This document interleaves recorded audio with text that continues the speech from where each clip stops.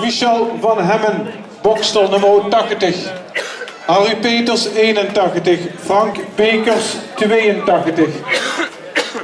Stijn Siebers 83. En Jelle Houwman Hombeek 84. Sterren.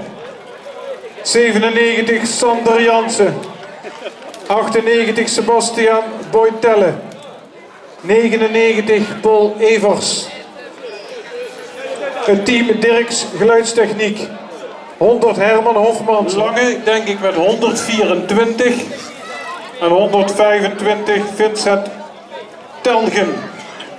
Dan zou er niemand meer moeten staan. En dat is ook zo. Mannen, even voor de duidelijkheid. We gaan dus uh, omlaag starten. We gaan de eerste bocht naar links nemen. Duidelijk. Jullie rijden 30 minuten. Ik zie drie man terug op het podium. Dat zijn de eerste drie. Bovendien ook nog eens de eerste drie baarloze renners. Oi, oi. Als de bel rinkelt, zijn we vertrokken. Spanning stijgt. We zijn weg. We zijn heel snel weg met uh, Jules Kessels. En dat doet hij namens Hofs.nl.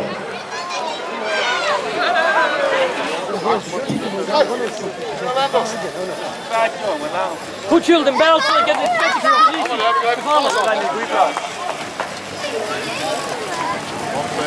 Eerste passage langs het wasbord met Jules Kessels aan de leiding Harry Peters ziet. En tweede stelling, uh, Renny Jansen was mij op 3. De Hofs in op 5 van Bekers op 6. En dan Laat ik ze even lopen, zie ze hier zo meteen, zie daar wel op de duk, helemaal in het wit met rode letters, Kavelberg en die de Rooi. Dat is de tweede man van het vorig jaar, de winnaar van twee jaar geleden, de winnaar van Belderslo. Het stuift. In de tweede stelling. Dan zitten we met Kars van den Berg, groepje met Ron Smit. Daar zit ook bij nummer 80 Michel van Hemmen. En deze man is 72, dat is een de motie, die gaat zeker nog opschuiven met Frans Haaien. Met uh, Paul Evers daarbij in het groepje en Stijn Siebers. Dan komen hier wat rekantiekoppers uh, voorbij.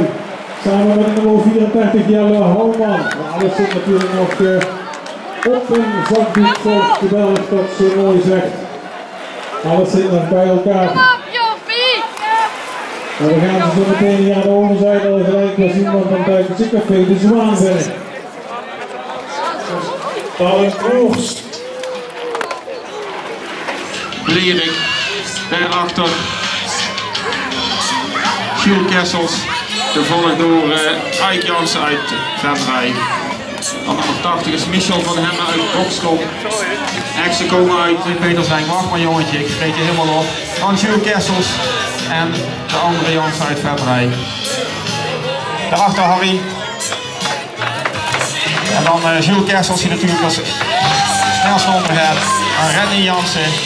Hier uh, Van Bemmel uit Bokstel. En 102 is Martijn Vervaat uit Bezel. Vorig deelgenomen aan de Duchenne. En hier nummer 72, dat is Andy de Rooij. Vorig jaar hier tweede.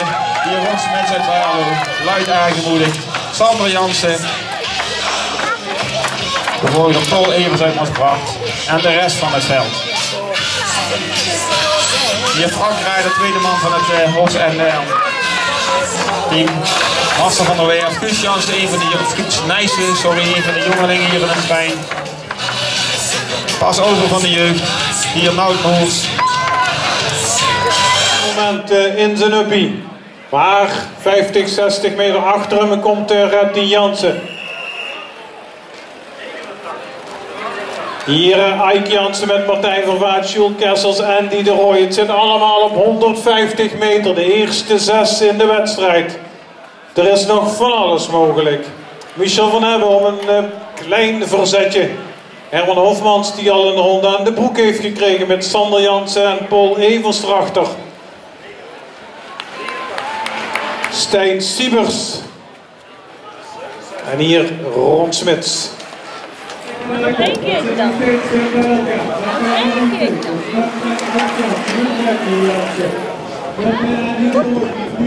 Kom op, Sil.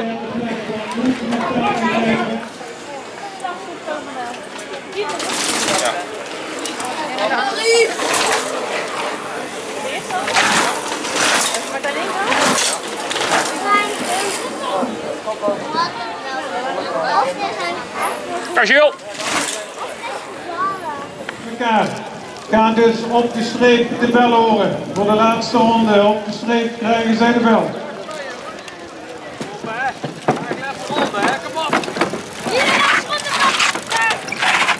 Ah, Andy de Rooij zit op kop.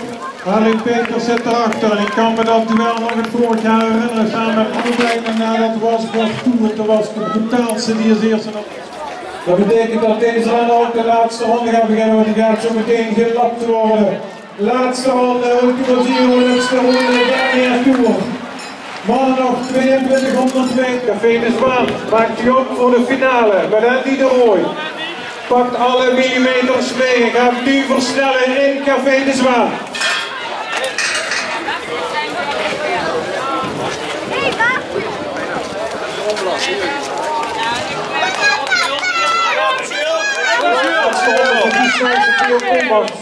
Maar nu dus wel op een mooie tweede plek zit.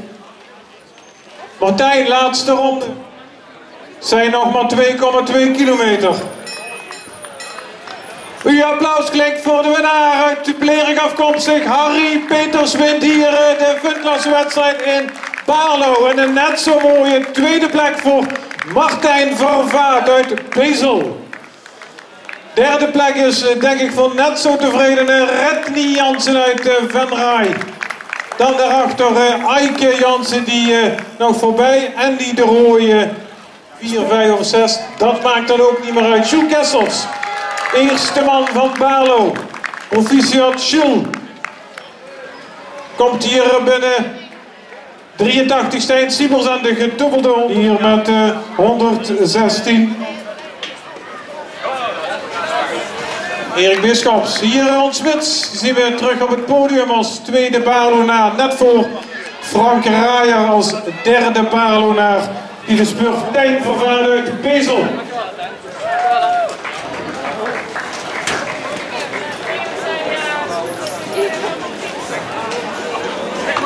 Ja, voor de mensen die niet weten, ik ben met Martijn een collega op het werk, dus vandaar misschien wat familiair.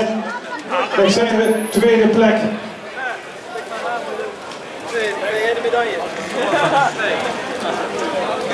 En de winnaar vandaag eh, Harry Peters uit Lerik. Harry, het was een behoorlijk gevecht. Volgens mij vooral ook met eh, Andy Berooi die je nog in die laatste ronde probeerde. Toen had je gedacht van, nu alle hens aan dek, dat gaan we nog dichtrijden. Want je had toch een gegeven moment 10 meter voordat je de park in ging. Ja, uh, we zaten de hele tijd best met 5, 7 jaar. Laatste ronde, had ik toch een klein beetje over. Ik denk, ik bewaar dat voor, goed, voor de, voor de plaats. Maar toen uh, lag ik drie, tweede maakte een fout, kon ik van profiteren. En ja, ik had gewoon nog over om, om de sprint te trekken.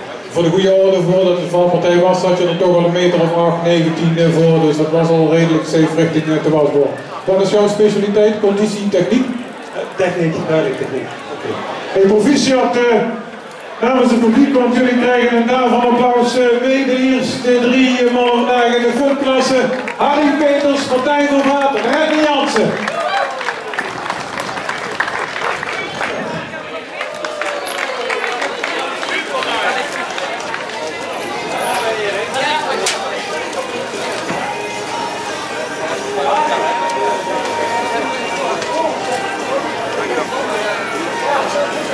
Tweede plaats is voor Ron Smits. Uw applaus.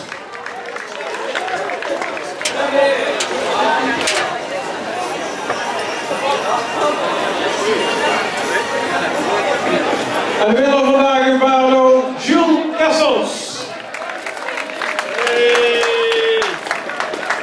Jules, goed zo. Allemaal met zo'n horseshirt, hè? Ja. Ja, dat wou ik ook zeggen. Hoe mooi, hoe mooi, hoe mooi kun je het podium maken met een Homs.nl spandoek op de achtergrond. Met drie truitjes voor de winnaar Sjoerd Kessels, Smit, Frank. Proficiat!